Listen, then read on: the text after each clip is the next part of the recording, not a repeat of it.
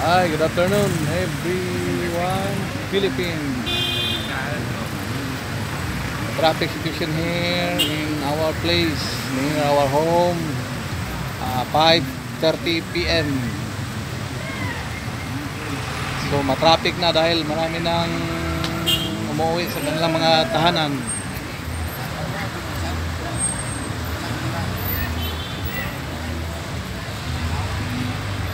Tingnan yung mabuti. Maraming.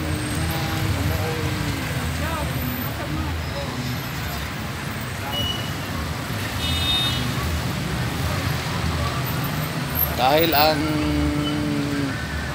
this road is accidental prone every month or every week maraming na aksidente dito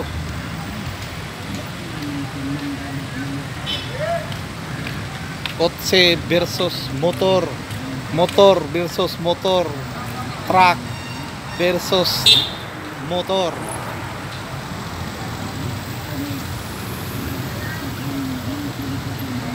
This is New Imus Road.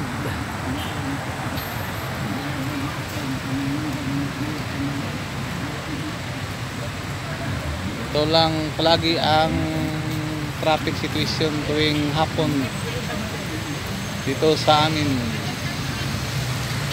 Malapit-lapit lang sa aming bahay mga 10 meters. Dahil Wednesday ngayon di masyadong matraffic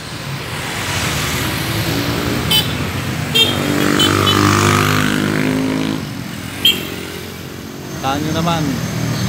Ang bilis.